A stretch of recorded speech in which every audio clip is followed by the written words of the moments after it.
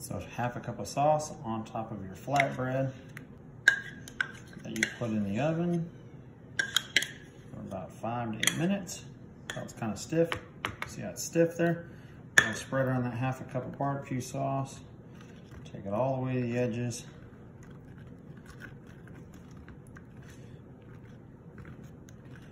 Trying to get it all the way out there. Now, once you get the barbecue sauce put on here, you can add a couple different things. If you like your pizza to have a little bit of spice to it, put some red pepper flake on there. I put a little bit of garlic.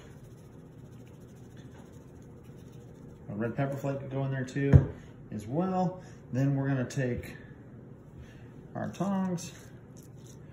We're gonna get six ounces of chicken,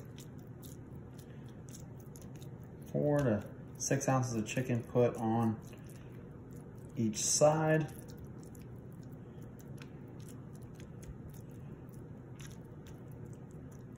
Serving for a girl is half a pizza. Serving for the guys is the whole pizza.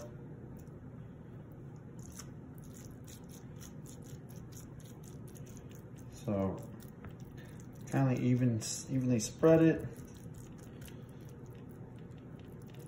You can cut this before you get to this part if you want to make sure it's perfect on half the pizza.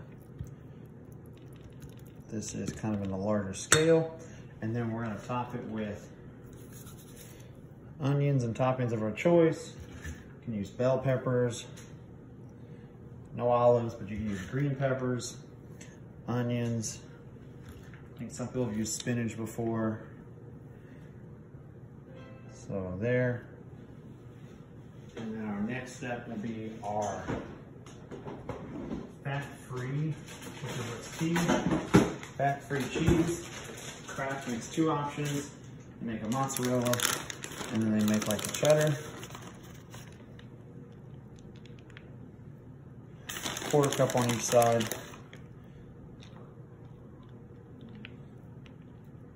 And then it's gonna go back into the oven for another five to 10 minutes to let all that cheese melt. There you go.